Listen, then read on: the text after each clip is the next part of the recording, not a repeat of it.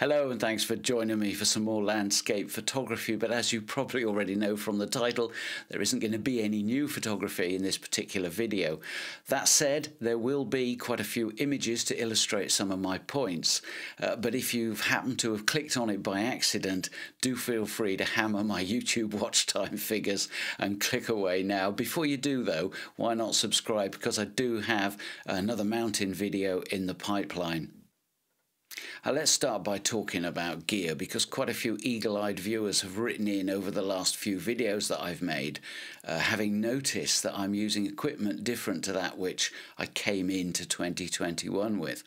Uh, and for some reason people are interested. I'm not remotely a gearhead um, on the photography pubcast, whenever gear comes up, I glaze over, and uh, you know I've usually got a book on the go, so I can sit and read that while the boys bang on about Nikon versus Canon and Sony and whatever else.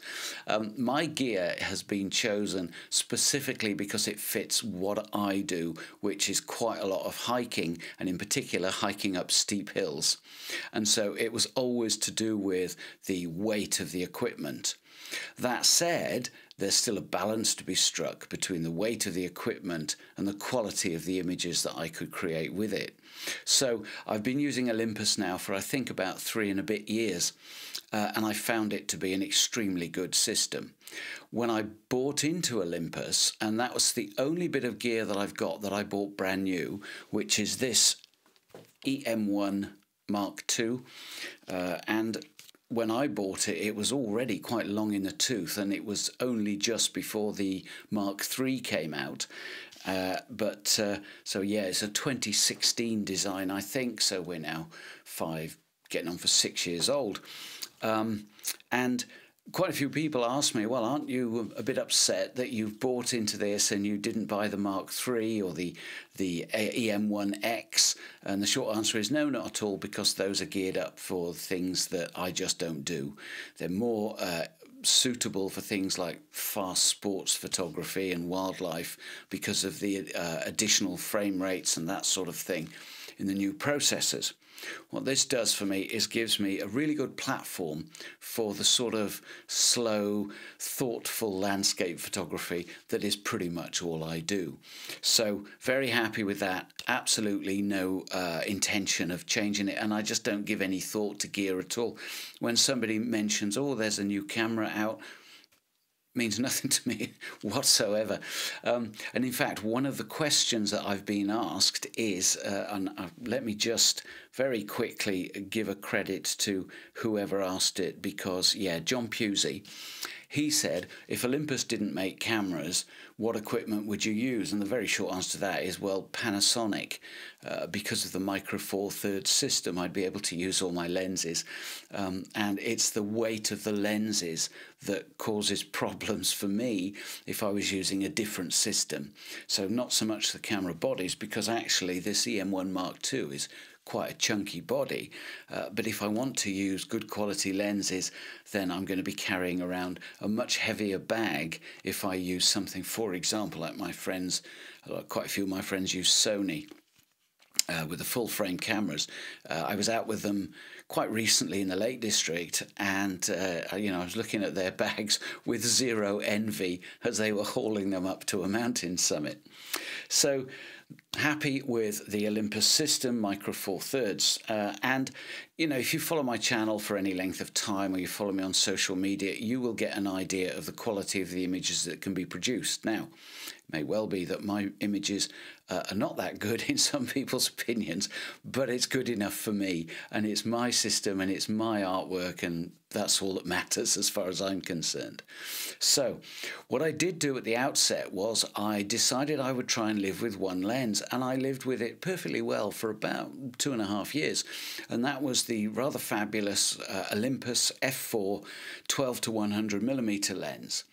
Uh, a really good lens, covers a great focal range and was pretty much all I needed for that period of time. However, What happened about six months ago is that I started using a different lens because I wanted to be even lighter when I was hiking long distances and particularly when I was climbing hills. So I switched over to this much lighter lens, which I've shown you before, which is the 14 to 150. So the advantages to me were the longer extra 50 millimeters in the focal range, very useful in the mountains. Uh, also, I could live without having it go as wide as 12 millimeters because when I'm in the mountains, I'm usually using the longer end of the telephoto range rather than wide angle. And then I accompanied it with this body. So I bought this EM5 Mark III I don't know, maybe 12 months ago, I can't remember. Initially, I bought it so that I'd have a nice little walking about camera and for video work. And it, it's very good for both of those. What I particularly like about it is that its innards are identical to the EM1 Mark II the essential innards. So the sensor and the processor are exactly the same. So I'm not missing out at all by having a smaller, lighter body. Uh, one or two features are not available on this, but I don't use them anyway, so that was completely irrelevant. Let's just take a look at a few images that I've captured with this lens, hopefully to illustrate why I'm perfectly happy with the quality. This is from a video that I made in the mountains uh, a while ago, uh, and it really does serve as a good example of, of how good this lens is. This is a, sunrise from a dog walk that I did back in probably uh, April, I think it was. Uh, just walking around with this lens on my EM5 body. Uh, I don't like to go out without a camera, uh, and when you see stuff like this and you can make a decent image out of it, I think that demonstrates its value lastly, this is from a, a, tuition session with a client, and all I was doing was taking a, a, shot just to demonstrate a composition to the client to illustrate how they might want to set up their shot. Because when I'm out and about with people, I generally don't take photographs because it's about what they're doing, not not me getting some pictures. Uh, but completely coincidentally, when I got home and looked at it, I thought it was probably worth developing. But again, a very good example of the quality of that lens. Uh, it's not pro glass. Uh, it's not a fixed aperture. It's f4 to f5.6. Uh, and that was one of the downsides of me using the 12 to 100. So what I decided to do was to trade that lens in because I wanted a wider aperture. And so what I did was I traded that in and second hand I bought, which is what I've been using recently and what people have been asking about. This is the uh, Olympus M.Zuiko 12 to 40 f2.8. And whilst so far I haven't made a huge amount of use of the f2.8, there certainly will be use cases where it will come in handy. But by and large, because what I found with my 12 to 100 was an awful lot of my photography, particularly when I'm just walking about, was at the wider end of the range, um, this sort of lives on my camera when I'm hiking. Uh, and so if I haven't got my lightweight, because it's not a big long hike or a steep hike, and I've got this with me, this lens works really well. Very, very happy with it indeed. But what I've also done in order to have some telephoto capability is I've paired it up with the rather fabulous 40 to 150, again f2.8 fixed aperture right through the focal range and I've already made good use of this lens. I also, at the same time, bought the nice little 1.4 teleconverter that matches up with it. And let's just have a, a, look at some of the recent images that I've been taken with this set of lenses. Now, when I first got the lens, the first thing I did was pop down to the lakefront where I live uh, and get a shot of where I moor my fishing boat. Uh, and it was a really good test for the lens to find out just how good it captures detail. And then I used it for the first time in the mountains when I went to Dinorwig Slate Quarry recently. Uh, and again, I'm using this image as an example where there's lots of detail in the shot to show just how crisp those details are with this lens.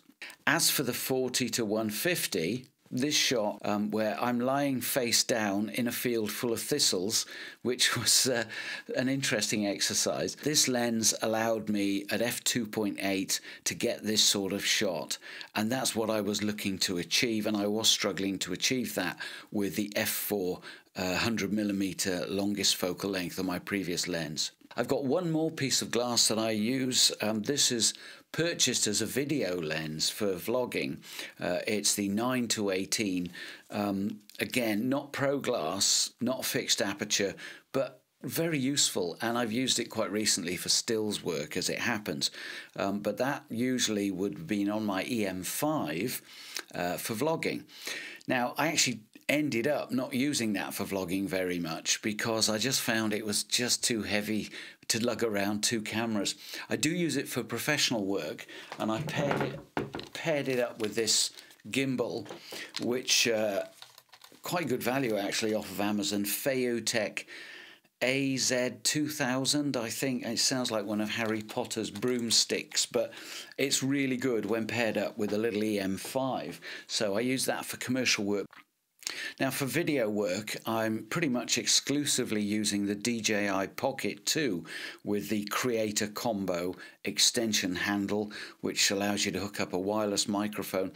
And over the last couple of videos, I've been really pleased with the quality of the video. Uh, you can shoot in a flat profile, which allows me to grade it. I generally shoot manual, uh, but what it's got is a slightly bigger sensor than the old version and a wider field of view. So whilst uh, with the old one, I really had problems with dynamic range, and that's what prompted me to try the EM5. I did find myself drifting back to using this because it's just so easy. And I think that in really thinking about what I'm doing with the video channel is that I'm really a stills photographer and I don't really want to be particularly working hard on creating videos uh, because I don't want it to detract from the stills work. So I want the videos to be as easy as possible. So there's just one more thing to talk about as far as gear is concerned, and that's that I've switched over my filtering system to Kase magnetic filters, the Wolverine system. Absolutely brilliant, tiny. That's that's my entire set of filters right there. Uh, a circular polarizer, a 0.9 soft grad, and then a 3, 6 and 10 stop ND. Uh, and as you can see, they, they slip nicely into the teeniest of bags, which is what I, uh, all I'm prepared to carry with me. So that's gear. That's what I'm using these days. Um, oh, no, tell a lie. One more thing that I've forgotten about. My main tripod, Peak Design. Um, I love peak design stuff. I can't help myself. And the thing is, um, I'm a bit of a tightwad. So most of my stuff is, well, actually, I tell a lie. All of my stuff, with the exception of the EM1 body, is second-hand, um, including this. Uh, there's no way I'm going to spring for 500 quid for a carbon fibre version. So I was only ever going to be interested in the aluminium version, slightly heavier, but who cares. Um, but I managed to find this one for a smidgen over 200 quid, and I thought, yeah, all right. I love that it's really rigid. I really like this this flat profile ball head system. Uh, it folds down. It's really compact. Um, it's a bit chunky, so very often one of these ultra lightweight ones behind me will come out into the hills if I'm using this. Uh, but uh, for stuff that doesn't require too much of a hike, very happy with this. And um, yeah that's that's my tripod setup. So that's gear. That's everything I'm using. And as I said it's all secondhand. Um, I, do, I won't spend too much money on anything if I can avoid it. Uh, not because I can't but because I don't want to. Um, so yeah uh, hopefully, I've answered all of your questions, and hopefully, uh, with the images, I've proved that the uh, lower end lens, the cheaper lens, and the smaller walking about camera system still can produce one or two half decent images. Right, let's do some questions. Um, I'm conscious this is dragging on a bit, so apologies if you're losing the will to live. Click away now if you don't need any questions answering. Um, first one's from Toby Jug. I really hope that's your real name. I suspect it isn't. Uh, but nevertheless, Toby has been following the channel for quite some time, often comments, uh, and has what could be quite an interesting question for beginners. Um, he asks, you said you had on a particular image a polarizer, a six stop filter, and a grad filter. How on earth do you set these up and in what order? Um, right, well, first of all, with most filter systems, you have the housing which screws onto the lens and you slide your glass filters into it. With those systems, very often the polarizing filter is built into the housing. So that's the filter that's going to be nearest to the glass. Usually it's got some kind of a gearing system, so you turn a knob and it turns the filter uh, and you set that up. Then the housing usually has two or three slots into which you can put your glass filters. And it doesn't matter what order you put them in, in terms of how the image is going to turn out. So completely whatever you feel comfortable with. But I actually do have a specific order of the way I do it. Let me explain why. So I'm going to demonstrate with the Kase filters that I'm currently using.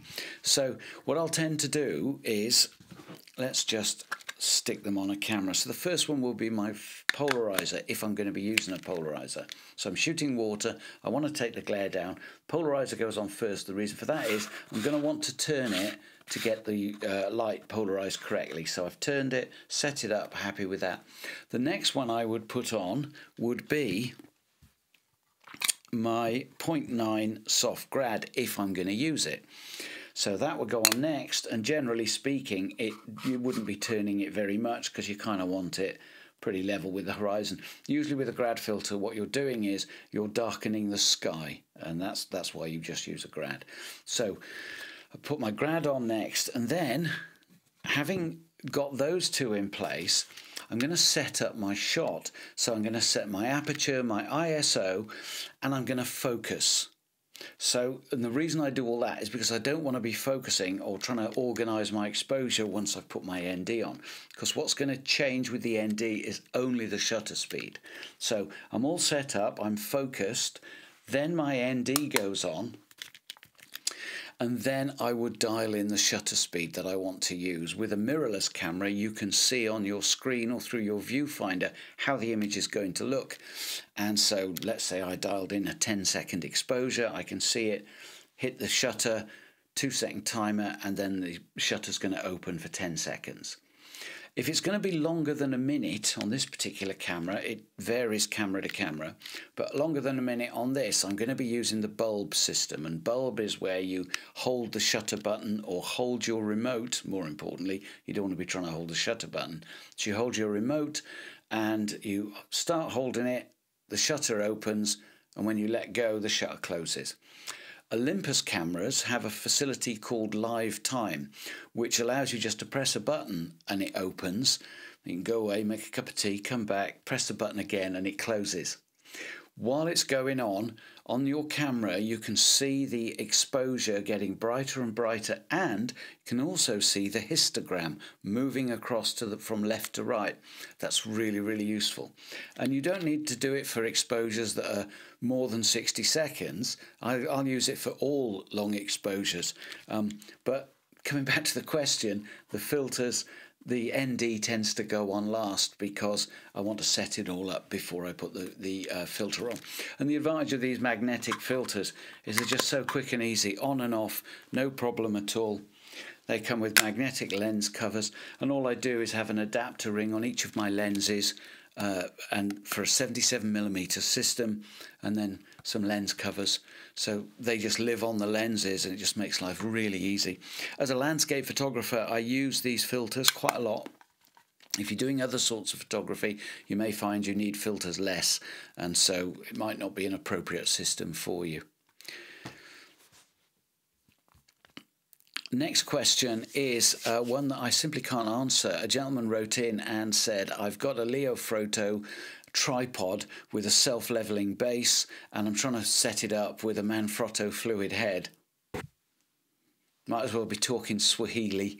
Um, one thing that I'm absolutely passionate about is knowing my gear inside out, every nuance, so that when I'm taking pictures, I don't have to think about it at all.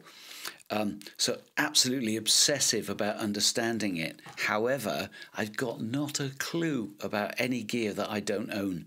So I'm really sorry, I just can't help you. Uh, next question. Okay, Simon Pemberton wrote in and said, how can I get the most out of an older SLR camera uh, because I don't want to drop thousands on a new system yet, he says.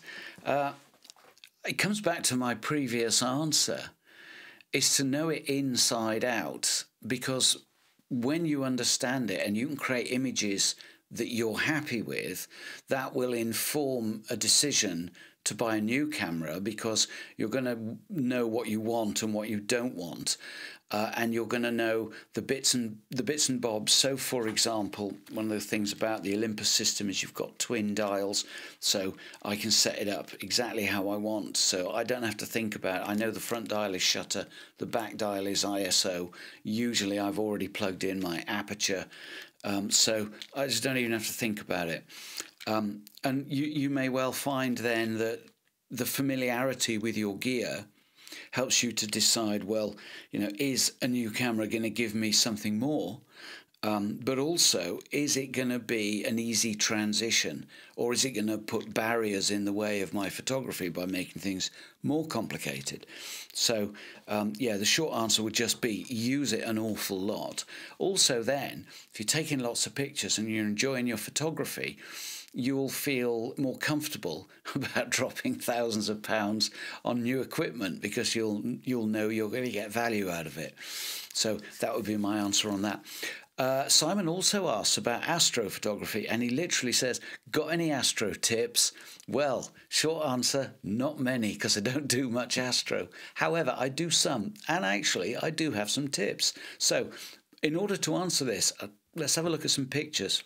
My first tip is that very often with astrophotography, uh, you really do want to have something in the image in addition to a starry sky. Uh, and so, for example, this one has got an iconic location in it. However, it doesn't have to be iconic because my house isn't iconic. And yet, I think that having the moon coming out immediately above the house is integral to the impact of the image. I set this up so that I would be standing about a quarter of a mile from the house, and actually, the image I was after had the moon only half up immediately between the two chimneys. Uh, but unfortunately, because the sun was still up on the other side of the sky, I couldn't get the definition in it. So I was forced to compromise and wait about uh, 15 minutes and get the moon fully up. But nevertheless, the thing about this is that yes, it's astrophotography, but it's kind of a hybrid. Another example is this one, where uh, I've shot it from a mountain top where I was camping about three o'clock in the morning in May 2019, looking across to Snowdon. So I've got the Milky Way coming out of it, uh, but what was interesting to me is that the lights snaking up the flank of Snowdon from a series of walkers in the small hours was, was what I felt was interesting about it. Yes, I've captured the Milky Way, but I rarely set out deliberately to capture it. Uh, one last thing I'd say about astrophotography is the processing is so important. You see so many astro uh, photographs with very poor uh, color interpretation. So the sky can often look quite brown or quite blue. Um, a Milky Way has all sorts of magentas in it. And bottom line is, it doesn't look like that what tends to happen is if you spot the Milky Way, if you're out in a dark sky area, as I was with this image on top of a mountain, you really only glance it based on peripheral vision. In other words, if you look directly, you can't see it. It kind of, you've got to look away from it to see it in the corner of your eye. And when you do, it's subtle. And so I do try and keep my processing of any astro that I do subtle. I don't use a wide angle lens. This, is, I think, is a 35 millimeter lens, if I recall correctly. But you don't always need a wide angle lens. Certainly, the shot of the tower at Llanddwyn Island that I showed you a moment ago was shot at 35 millimeters. If you've got a great big huge slab of sky and it doesn't have any context of a foreground, it will have less impact than something where you construct an image that includes the sky but isn't just the sky, if you see what I mean. Those are my tips for Astro. Okay, so just a couple more and we're all done. This next one comes from a, a chap, I assume it's a chap, I don't know actually, Green Morning Dragon Productions. Okay. Um, again, this person's been following me for ages, often comments, um, very generous feedback, but I don't know your real name and I apologize. I can't address you uh, in a more friendly manner. However, uh, the question is um, I know he says I know you've shot the Llŷn Peninsula a few times, and he's from the UK, but now he I'm saying he could be a she, and now resides in Japan um, and is asking about have I got any tips for shooting a peninsula because uh, he or she wants to capture the Miura Peninsula, which is a similar size. Now, similar size, Llŷn Peninsula from Caernarfon to Bardsey Island is about 30 miles as the crow flies, so it's pretty big. So I have some thoughts, but I'm going to illustrate them with a few pictures. So let, let's just take a look. Now, the Llŷn Peninsula does tend to uh, appear in my images as a bit of a, a guest star. It's, it's rarely the uh, object of my image. So when I'm out walking the dog and I'm on the beach, Llŷn Peninsula, as you can see at the top of this image, kind of just sits in the background um, and it creates an interesting profile so I don't have a boring flat horizon um, and I do make use of it but I'm not explicitly shooting the peninsula. Some shots are a little bit wider, and in this instance, clearly I'm more interested in the foreground and the midground. But again, having that range of mountains up on the horizon, which isn't Snowdonia, that is the Llŷn Peninsula, does add to the image. And of course, when you're shooting the iconic Tŵr Mawr at uh, Island, uh, you can't help but get the Llŷn Peninsula in your image. I suppose, in some respects, can be, in this instance, slightly distracting from the main feature. I haven't set out specifically to try and capture the entire peninsula because I think the short answer to your question is it can't be done especially if it's 30 miles long. So, what you really have to do is to pick out some features and use those. Late afternoon from the summit of Elidir Fawr. I'm in this image looking straight down the Llŷn Peninsula, but what I'm actually interested in is all of the hills and the light and shade in the mid-ground. It, it's coincidental that I'm looking down the Llŷn Peninsula because when you get beyond those hills in the mid-ground, it rather levels off and there's, there's pretty much nothing to shoot. A bit later on in the same shoot, this is after sunset, uh, getting in a little bit tighter. And what I've got there in the midground, uh, beyond the smooth hill, uh, forget the lit up foreground, which is the summit of the mountain I'm on. There's Moel in the middle, and then towards the back, the twin uh, peaks back there are uh, Yr Eifl. That really forms a really nice backdrop, but isn't the subject material for my image. On another shoot, I get a little bit nearer and I move to a mountain summit that's uh, closer to the uh, Peninsula in terms of looking down it. Uh, and this time I'm on the summit of Mynydd Mawr, and there's now nothing between me and Yr Eifl. Uh, but again, there isn't anything else on the Llŷn that I'm particularly interested in capturing. During the same shoot, this one presented itself uh, and really is from the standpoint of shooting a peninsula. Um, the only shot that I've got where I would say this is overtly a shot of a feature on the Llŷn Peninsula. And so, yeah, coming back to my short answer, I don't think it can be done. I would say pick some features. Um, the question also asks about time of day and conditions. Um, short answer shoot all times of day in all conditions. Something will present itself as being uh, optimum, and then you can work more on that and hopefully end up with an image or a series of images with which you're happy. I'm going to come back to John Pusey now, who asked about what camera system I would use if I wasn't using the EM1. Uh, we covered that. He also asked, what trekking poles would you recommend? what do I know about trekking poles? Um, the ones I use are Black Diamond. Uh, and the only reason I use these is because I was out with friends and I'd forgotten mine. And there's no way I'm going to walk up a hill without them. So uh, we had to whiz down to Better Betws and that's what they had in the shop. That said, I didn't go back to my original ones. Those are far better. Um, they've served me really well for about three years. So, Black Diamond, you can't beat them. John's final question uh, is one that I'd kind of like to finish on because it's sort of philosophical. Um, and it's uh, if you could change one thing about photography, what would it be? I wouldn't change anything about photography itself. I think what I would do is I would change the attitude of some people to photography. I think that it's a very personal thing. And I think that if you share your work, as I do on YouTube and social media and so forth, um, you open yourself to critique. And you have to accept that people will critique it. The problem I have, and that what I would change is I would change people's mindsets to just remember that if somebody is at a certain stage of their photography, beginner, intermediate, experienced, whatever, and whatever they point their camera at, and however they compose their shots, and whatever pixels they capture with whatever exposure settings, and however they process and present those pictures it's a very personal thing. And if they invite critique, by all means, offer critique. Make gentle suggestions as to how things might be improved. And improved is heavily subjective. Um, but I think it's important to remember that everybody's photography is their own personal journey. And I think there are so many strident opinions amongst photographers.